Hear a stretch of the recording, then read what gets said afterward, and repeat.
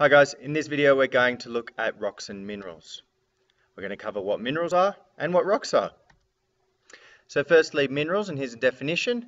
Minerals are naturally occurring substance formed through geological processes that has characteristic chemical composition, highly ordered atomic structure, and specific physical properties. Uh, so that's quite a mouthful as you can see, uh, but there's a couple of key things there. So it's got a specific chemical composition, so you could write it down chemically and it would be the same all the way, all the way through. Highly ordered atomic structure, and this causes the shape that the crystals make when they form, and specific physical properties, uh, which is very good for classifying minerals, uh, but I'll look at that in a later video. So let's have a look at that first bit. The mineral has a specific composition. So here are three minerals we've got, orthoclase, albite, and quartz.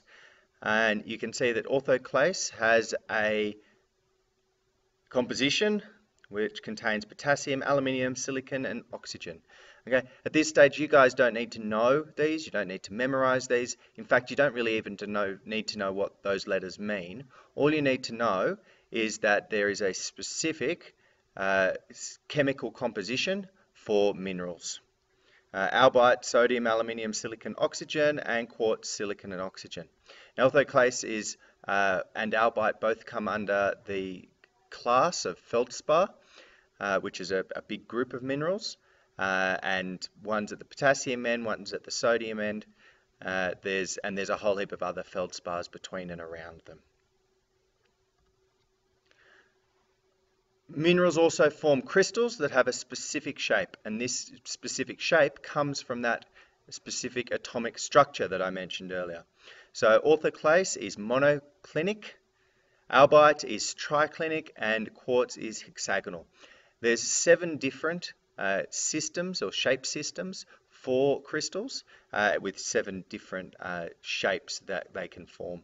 And pretty much all crystals can fit into those shapes in some way or another. Rocks, on the other hand, do not have a specific chemical composition or a specific shape.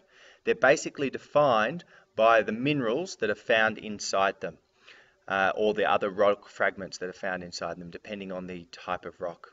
So, for example, granite is a group of uh, rocks that generally contain orthoclase, quartz, and albite. Okay, so those two types of feldspar uh, and quartz. Now, a lot of the granite actually contains biotite, or, which is a form of mica as well, uh, and this is an igneous rock. And you can see, if you have a look closely, you can actually see the crystals here, which is the lines in those rock, that's the crystals, and the lines between the crystals, and these crystals are right up against each other and growing through each other. So basically, if you've got a uh, tub of these different minerals and heated it up so it was really, really hot, like a thousand degrees or so, or maybe a couple of thousand degrees, so those rocks melted. Uh, as it cooled, these crystals would form and they'd run into each other like that. Another example of a rock that's made up of other rocks is conglomerate, which is a form of sedimentary rock.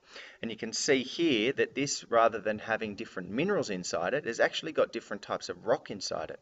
So this is a type of rock here, and you can see the speckles, being that it's made up of minerals. This rock's made up of different minerals as well. So these are all different rocks.